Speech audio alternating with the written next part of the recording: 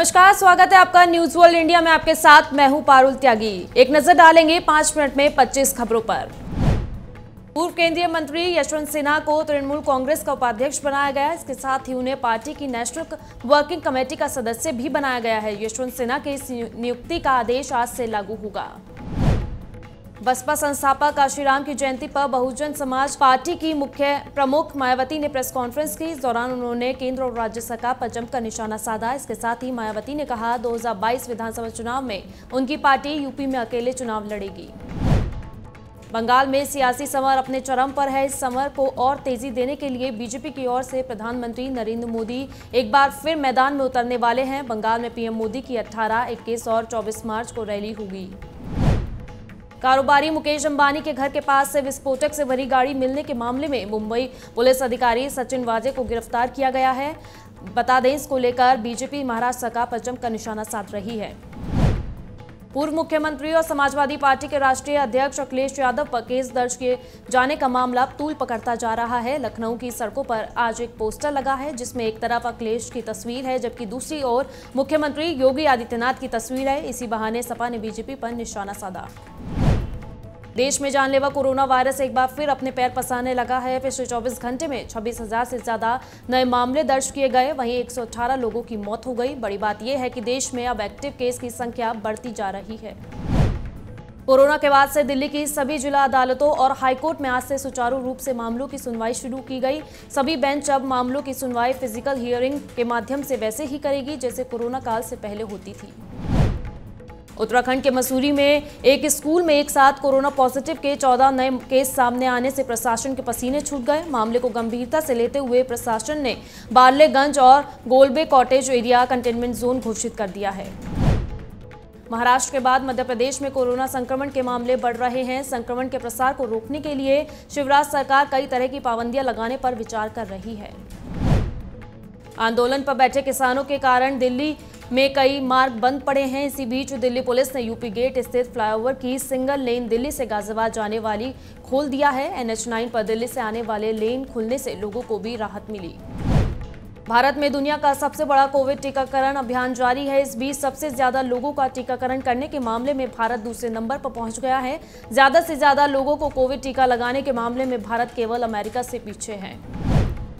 जम्मू कश्मीर के शोपिया में आतंकियों और सुरक्षा बलों के बीच मुठभेड़ चल रही है। मुठभेड़ का आज तीसरा दिन है। इससे पहले रविवार को जैश आतंकी को मार गिराया था।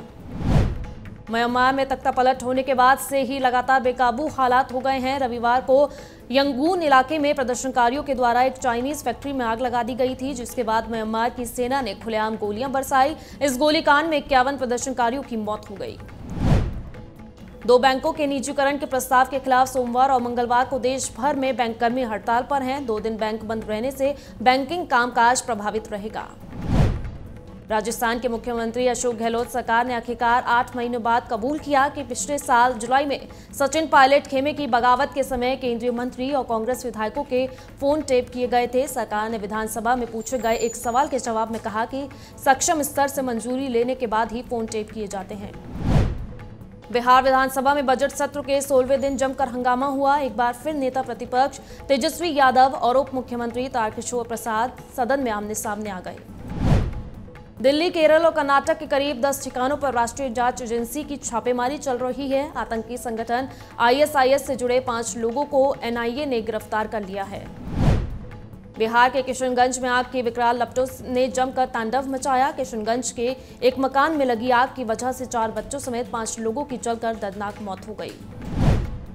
पाकिस्तान की मशहूर लाहौर यूनिवर्सिटी इन दिनों अपने एक आदेश की वजह से सुर्खियाँ बटोर रही है। एक छात्रा ने साथी छात्र को प्रपोज किया तो यूनिवर्सिटी ने दोनों छात्रों को निष्कासित कर दिया।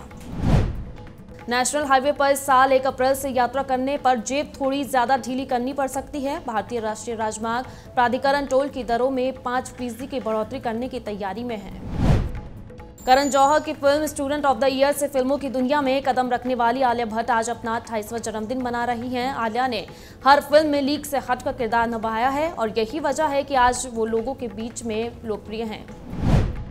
फ़िल्म बच्चन पांडे की शूटिंग के बाद अक्षय कुमार जल्द ही अपनी अगली फ़िल्म राम सेतु की तैयारी में लग जाएँगे। राम सेतु के मुहूर्त शॉट के लिए अक्षय 18 मार्च को डायरेक्टर अभिषेक शर्मा और creative producer doctor Chandra Prakash Dwivedi के साथ अयोध्या रवाना होंगे। फुकरे थ्री के तीसरे पार्ट की शूटिंग शुरू हो गई है। यानी कुछ ही महीनों बाद फुकरे थ्री भी आपको एंटरटेन करने के लिए हाजिर हो जाएगी। फ़िल्म के कलाकारों ने सोशल मीडिया पर फ़िल्म के मुहूर्त पूजा की, फ़ोटो शेयर की। बॉलीवुड एक्ट्रेस गीता बसरा और क्रिकेटर हरभजन सिंह जल्द ही दोबारा पेरेंट्स बनने वाले हैं। इस बात की जानकारी गीता बसरा ने क्यूट सी तस्वीर के साथ सोशल मीडिया पर शेयर की। बीएमसी के द्वारा ट्विटर हैंडल से आज एक ट्वीट हुआ, जिसमें बताया गया कि एक बॉलीवुड एक्ट्रेस के खिलाफ कोरोना के नियमों का उल्लंघन करने के मामले में एफआईआर दर्ज की गई है। ट्वीट में बीएमसी ने एक्ट्रेस का नाम का खुलासा नहीं किया। बॉलीवुड सूत्रों के मुताबिक ये एफआईआर गौहर खान के खिलाफ दर्ज हुई है।